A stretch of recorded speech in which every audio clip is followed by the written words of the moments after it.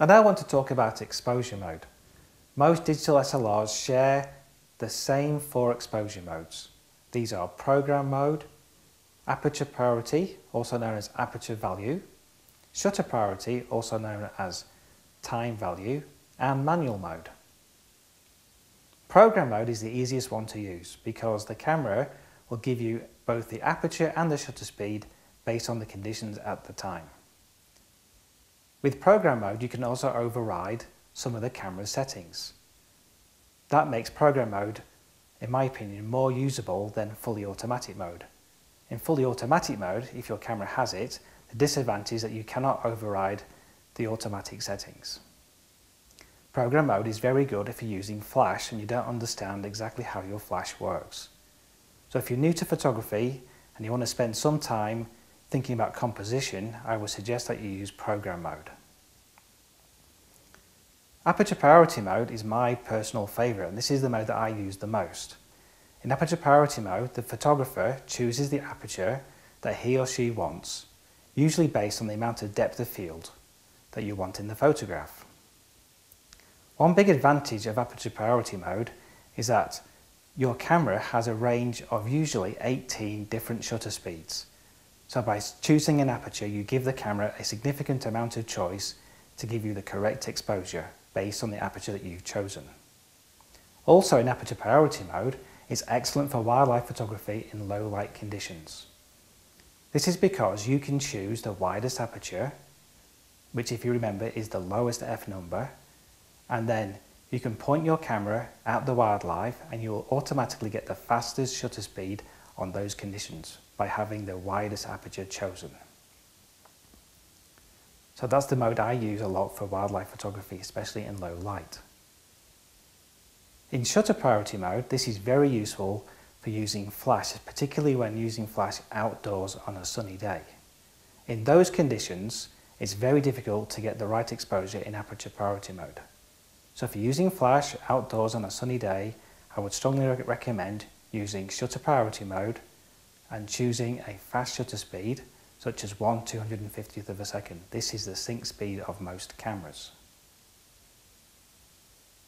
In manual mode, you get the most creative freedom. It's particularly good when using flash, especially studio flash, and trying to create creative results. However, the price of this creative freedom is the fact that you can make the biggest mistakes and get really bad exposures. So it's very important to learn how to use manual mode as you'll get to learn how to use the basic parts of your camera, but there's nothing wrong with using a semi-automatic mode such as aperture priority or shutter priority.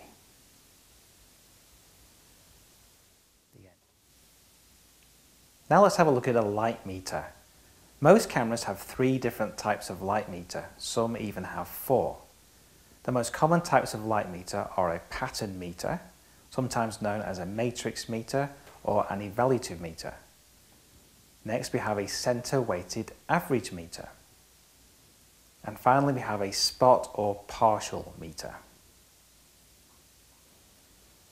The pattern meter, sometimes known as a matrix meter or evaluative meter or an ESP meter, is the one I would strongly recommend. It's the default in most cameras and it is an incredibly accurate light meter. I don't want to go into all the details as to how it works, but basically it measures light in many different parts of your viewfinder and compares those light measurements with a database and giving you a very accurate measurement of light. That's the one I use about 90% of the time. The idea of a light meter is to expose for 18% grey. This is an 18% grey card.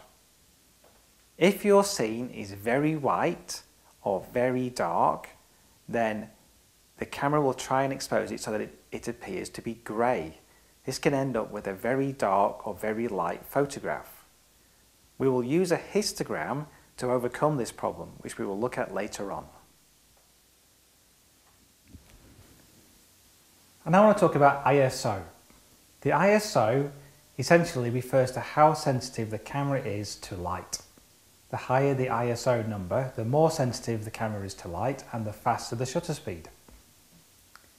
The disadvantage though of increasing the sensitivity and the ISO is that the more sensitive the camera is to light, the more noisy the photographs get.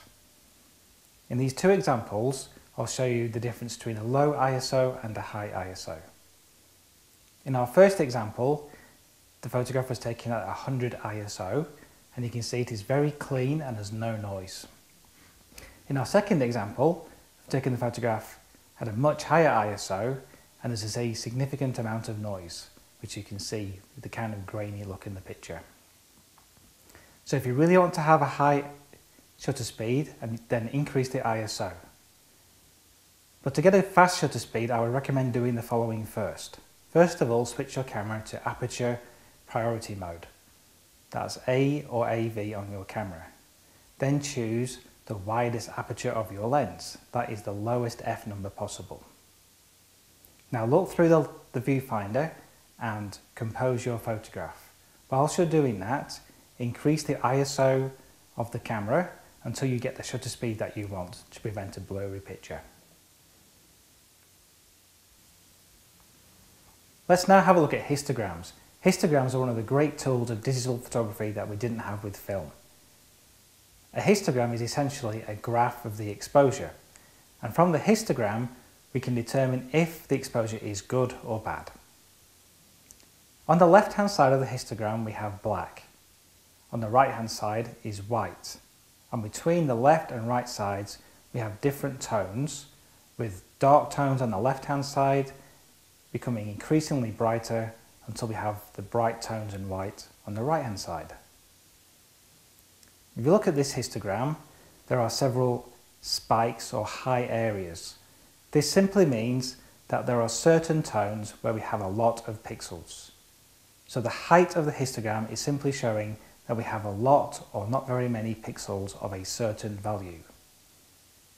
In this example, on the left hand side, there is no spike at all, so there are no pixels that are black.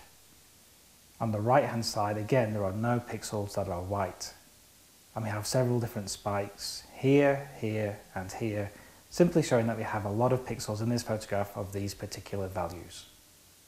If you need to make the photograph brighter, then you can use positive exposure compensation. This allows more light into the camera and it will move the histogram to the right. So positive exposure compensation gives us more light and a brighter photograph. If you use negative exposure compensation, then you're allowing less light into the camera and you end up with a darker photograph. And that gives you a histogram further to the left. Let's have a look at a series of photographs now. The first photograph shows this scene correctly exposed. As we increase the exposure by one stop and now two stops, you can see the histogram is moving to the right and the photograph is getting brighter. Let's make the photograph darker. This is now an exposure of minus one stop. The histogram has moved to the left and we have a darker photograph. And in the next exposure of minus two stops, we have a much darker photograph and again, the histogram has moved further left. In the histogram, we're trying to avoid having a spike on the extreme right hand side of the graph. A spike on the extreme right hand side means that we have some pixels that are white. White pixels are overexposed and have no detail. If you do have a spike on the right hand side, then you need to use exposure compensation to move the histogram to the left and have a slightly darker picture. So by combining the histogram with exposure compensation, we can avoid the spikes on the right hand side or the left hand side and end up with an exposure that is correct which leaves us with a histogram in the middle of the graph.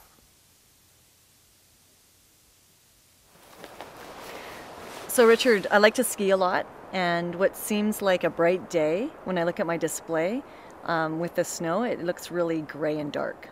Okay, so you've got this great day like today and a very bright sunny scene and what you're seeing is a, is a grey photograph, is that correct? Exactly. Okay, so the reason for that is a light meter is designed to give you an 18% grey. So even though you're seeing a bright white scene, the camera wants to expose that so that it's this, this grey colour.